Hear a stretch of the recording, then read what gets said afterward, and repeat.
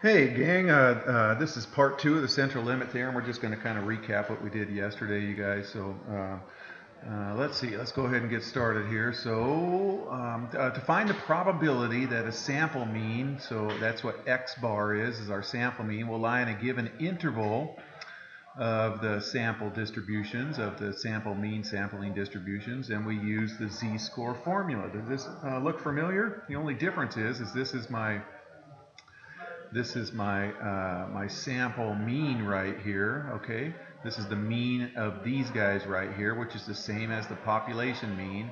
And then um, uh, the sample standard deviation is this right here. And remember from yesterday, our sample standard deviation was the population standard deviation divided by the square root of the sample size, which was n, okay? So our formula becomes uh, that right there, okay? So I always like to do this first, and you get a decimal, you guys, and when you get that decimal, then we do the, the sample mean minus the population mean divided by the sample standard deviation right there, okay?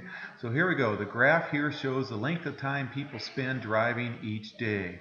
We randomly select drivers ages 15 to 19. I think that's kind of a I don't know, 15 year old drivers, maybe not in, well, I guess you can get a permit if you're 15 and a half, but anyways, let's overlook that part.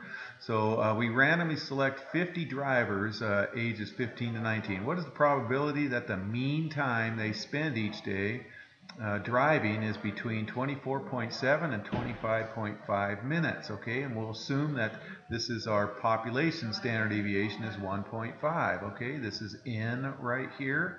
And so here's the mean for our 15 to 19. It's 25 minutes right there, okay?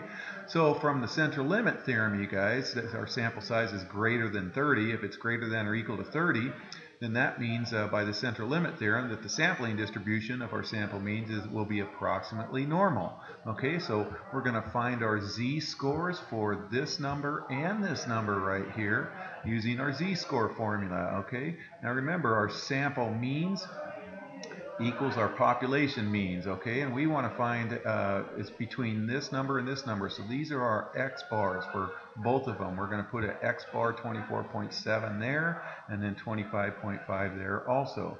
Okay, and so our sample standard deviation is this action right here. So it's the uh, population standard deviation uh, divided by the square root of n, which is our, our sample size right there. Okay, so I get about 0.21213, so that's going to go underneath each one of those right there, okay? Always draw your bell-shaped curve. Sorry, I wish I had a better picture. Um, I'm on my prep period, and the class next door to me gets kind of loud sometimes. They have an activity going, so that's the noise you're hearing in the background. Anyway, so remember, this is our mean right here. Our mean was 25 minutes right there, and we want to know between uh, 24.7, which is uh, to the left of 25, and then 25.5, which is to the right of 25. Okay, so here's our mean time in minutes. This says, sorry about the blurriness, the distribution of sample means with n equal to 50.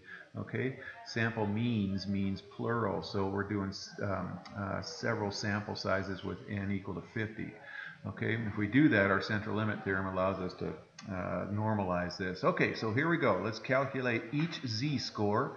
Okay, so so 24.7 minus that 25 over that decimal, and then this minus the 25 over the decimal. So our z-scores are going to be from uh, 1.41 to 2.36, okay?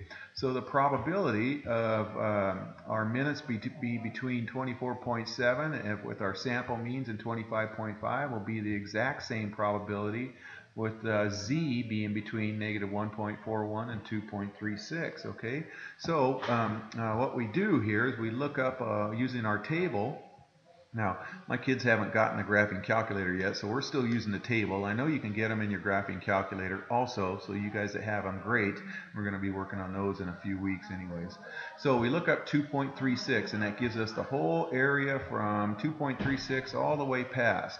And the 1.41 gets us the area from here all the way past. So what we do is we subtract this number minus this number, and that's going to give us the leftover stuff in the middle right there. Okay, so when we subtract those guys, we get uh, 0.9116. And then now what are you supposed to do? Well, we're supposed to interpret that, okay? So that's roughly 91% uh, will have a mean driving time of the ages of, uh, if, let me start over, of the samples of 50 drivers, ages 15 to 19, about 91% uh, is going to have a mean driving time that's somewhere between 24.7 and 25.5 minutes, okay, as shown over here, okay? So, all right, so this implies that uh, uh, that assuming that the value of a mean is 25 uh, minutes is correct, and uh, then about 9% of the of other samples are going to have a mean that's going to be lying outside of that interval. All right, hope that makes sense. If you are in my class, that will be your assignment. Take care.